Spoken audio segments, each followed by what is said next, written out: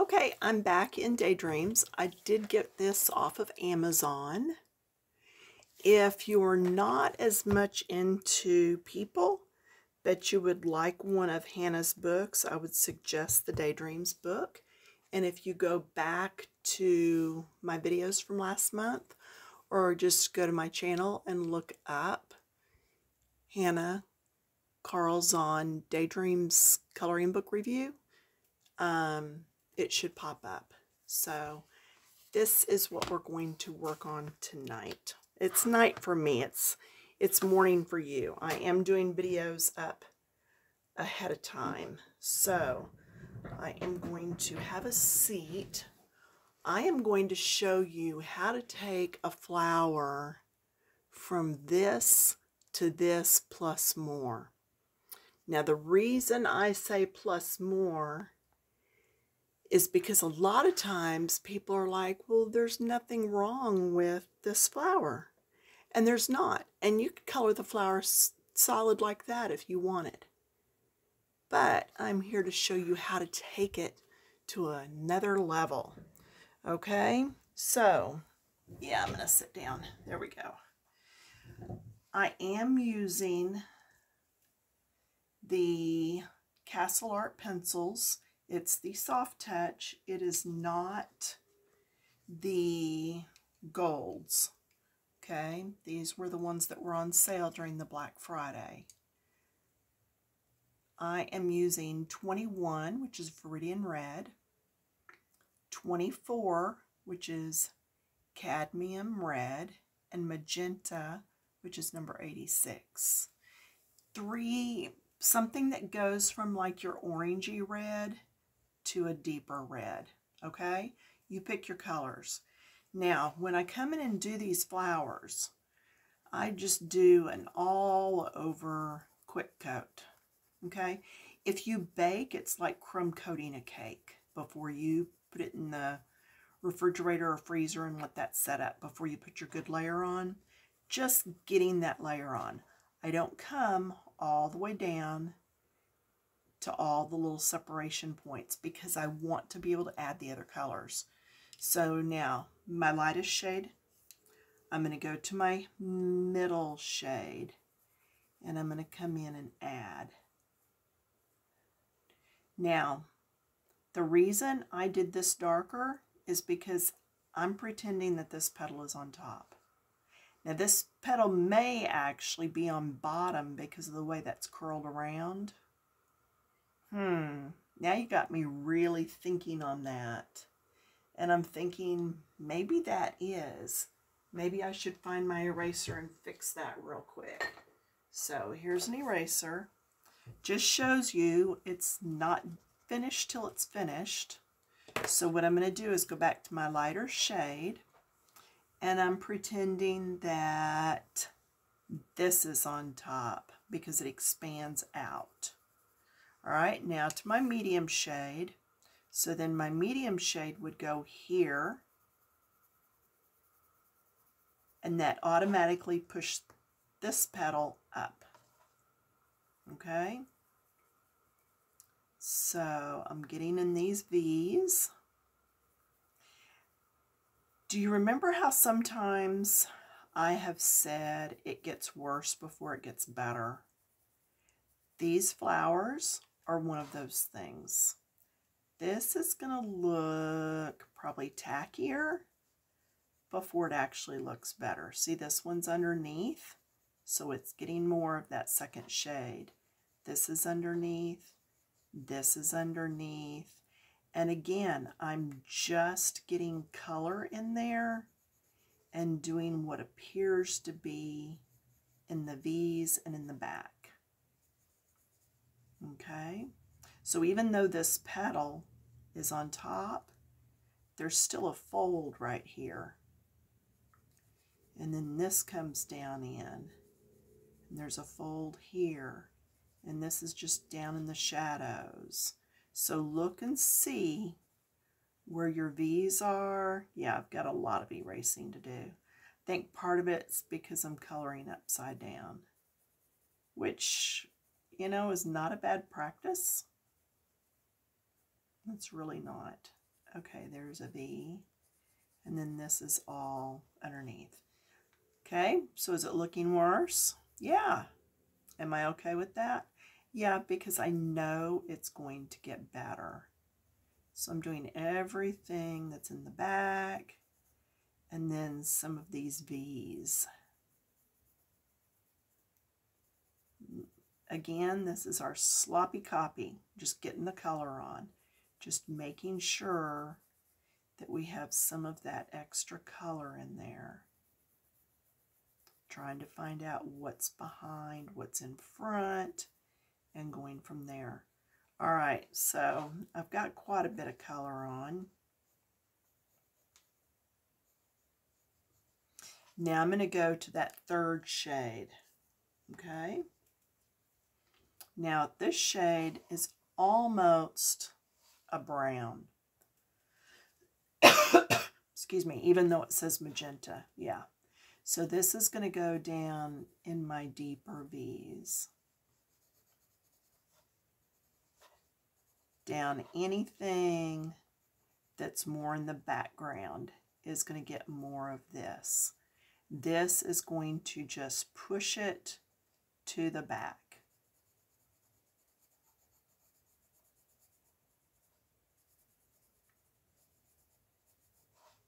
See how this looks like it's got ripples in it and stuff now?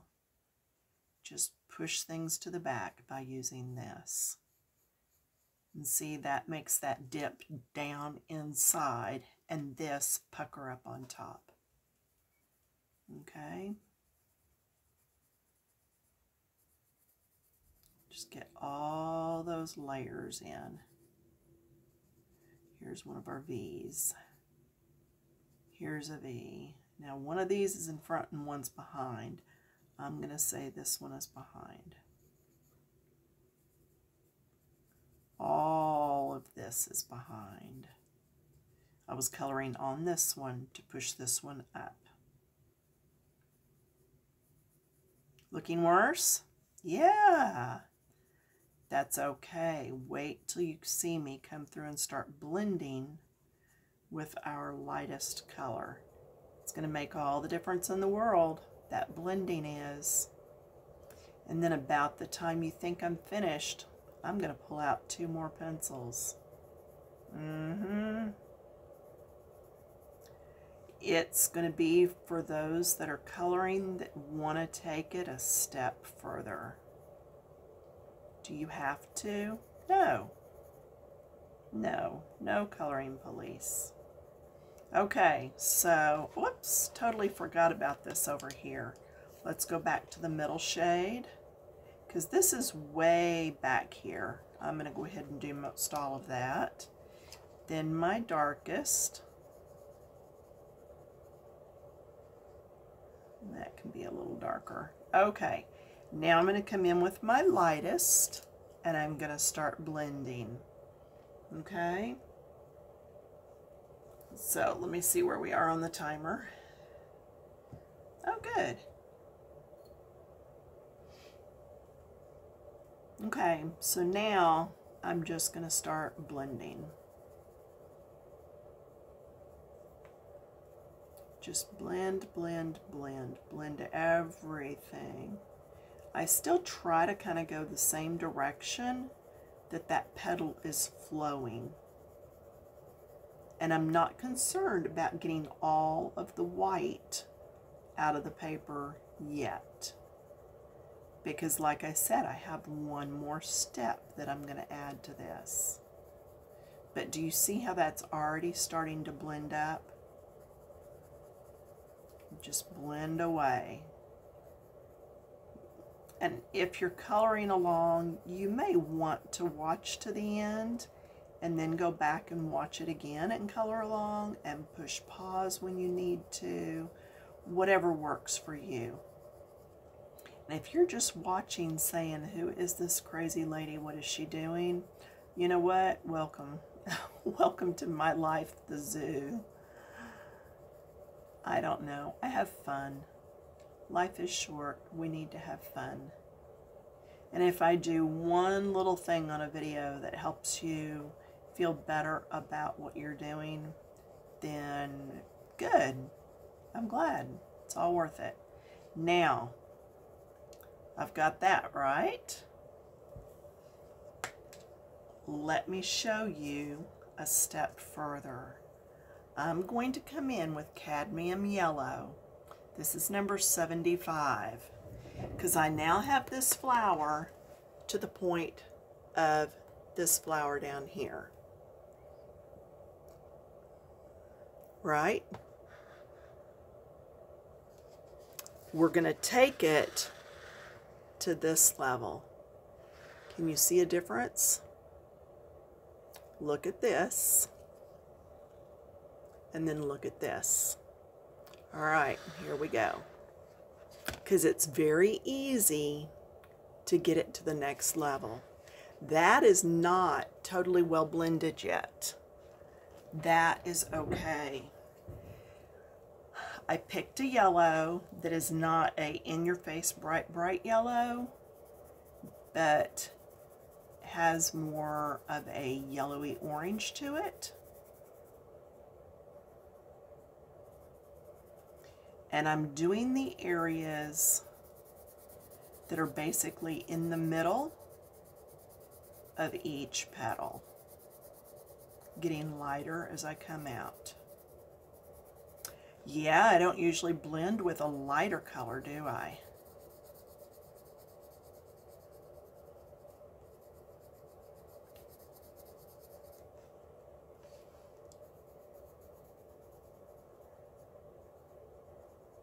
Just, it's just like the ends have been sun-kissed.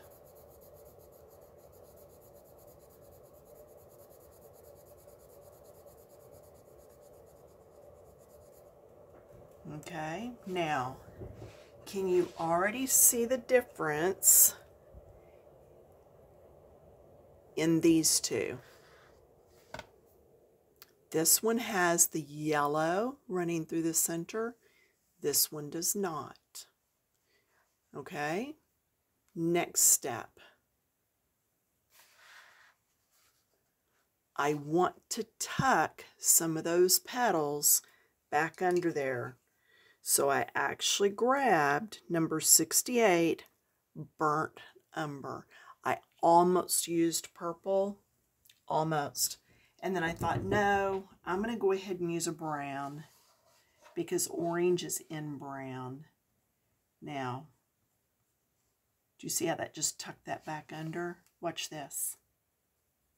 The V. And then the little bits around. It just popped this petal up. Let's do this one.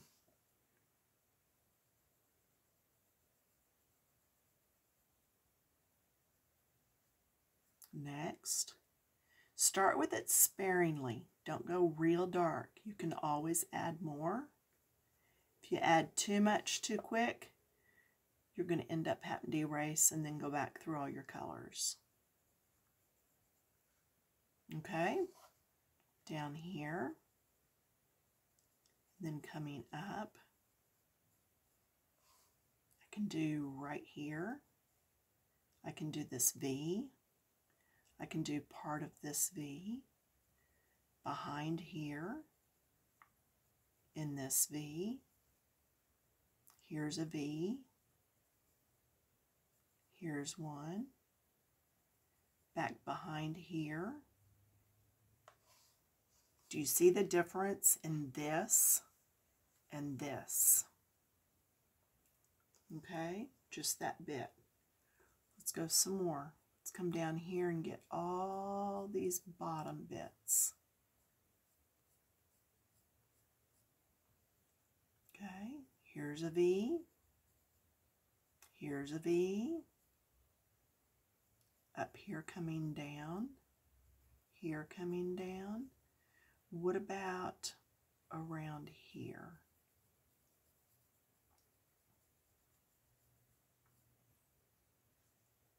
Here's a V. Look for those V's. Look for those areas that are naturally tucked under or folded.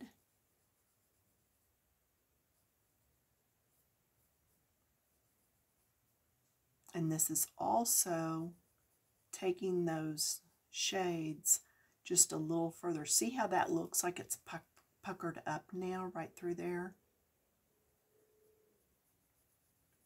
It's just slight, slight shading. Just shading right behind where those lines are and not doing a whole lot. Like I said, you can add more.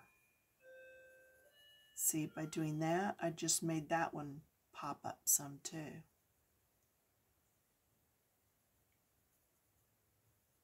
Send that to the back. Working on over.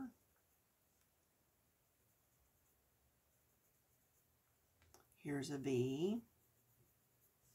How about we send this one to the back? Means we need to make it darker here.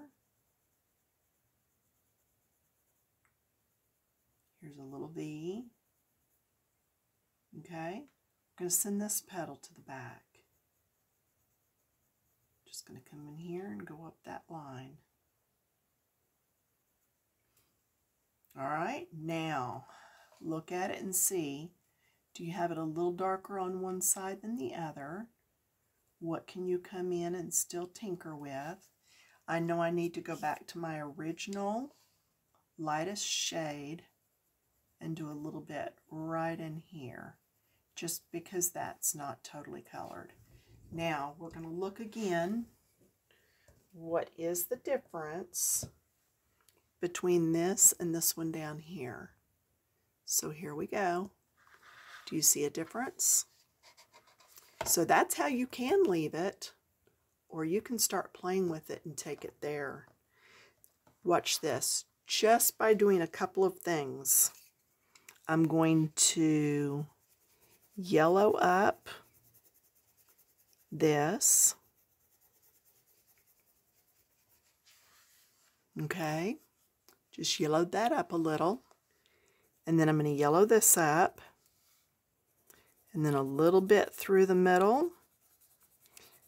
Now, if I want this to look like it's really ruffled up and raised, this is where I'm going to come in with that brown.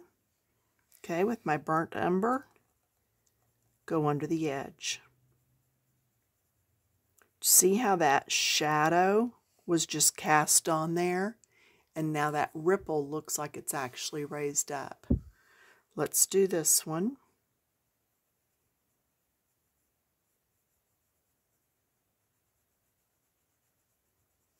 And I'm going to do a little bit in there. And it causes this little piece to raise up.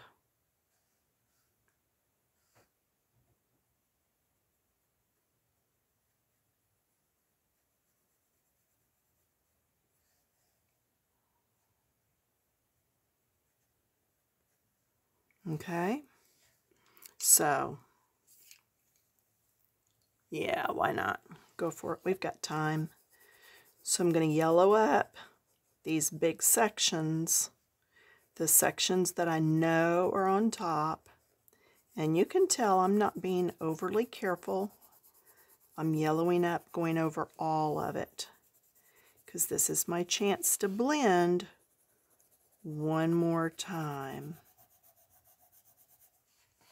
One thing I will tell you that I was surprised on this page, almost all the leaves are done the same, even though they're connected to different flowers. So, um, yeah, I was a little surprised by that. So I am going to go ahead and probably do all the leaves in just the same colors over and over. Whoops, I forgot this up here. But then the flowers, there's several different flowers on this page and I've yet to figure out exactly what colors I'm doing all of them. But that's okay. All right, so now then, my V's. Here's a V here. There's one. There's one here. Here. But then I really want that popped, so I came back in and added just a little bit more. See, you can keep adding this brown. I just want you to start sparingly so that you don't get too much all at once. Okay, and then it's on top of this one. So I'm going to go around here and get some. And then we know it all goes back down in there. And then here, this is underneath. This comes underneath so that, that piece pops up. And then I'll put some here, which allows this to pop up. Put some here, which allows this to pop up. Okay, let's come over here. There's a lot of lines coming up through here. You're going to have to decide what you want on top and what you want on bottom and go from there. You may see something totally different than the way I see it, okay? There's nothing wrong with that. A little bit here, which pushes this one up and sinks this one back a little. I want that ripple there. This one is actually on top of this one, so my dark should be on this side.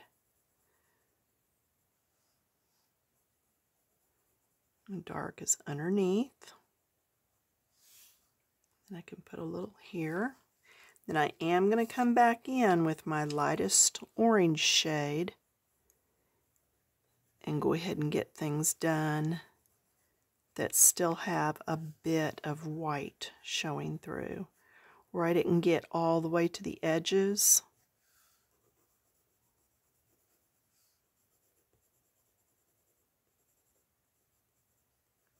But I think you can see now how we actually took that a step further by adding the brown and the yellow.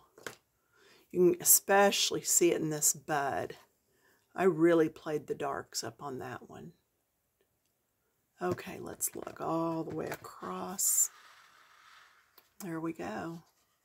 So what I meant by the different flowers is these are one view. I wonder if that's the same flower, but a different view, and that's why you can see all the little um, stamen in the middle then that would be the same flower, that would be the same. These would actually be different. This would be different. This could be the same. It could be the orange. So what I may do is just do like three different colors for the flowers. Yeah, I haven't decided yet. When you get a book like this, has a nice spine on it, you really don't want to break that spine open. So when it comes to coloring in the crease, hold your book up some, and then as you're coloring, take your pencil and go down in. Okay, that's going to be the best way to get down in those bits because some of these pages do, if it's a two-fold like this, it does go all the way in. Now some of these pages like this one, it did not go all the way in. So this one doesn't go all the way in. So you're not going to have that on like every page. See, that one doesn't go all the way. So anyway, that's it. That's how deepening and lightening will give you all those layers and make your ruffles really stand up and push the flower back. So I hope this helped somebody. Um, thumbs up if you liked it, subscribe, follow, etc., etc. All right, thanks for stopping by. Have a good one, and I'll see you in a few days. Bye.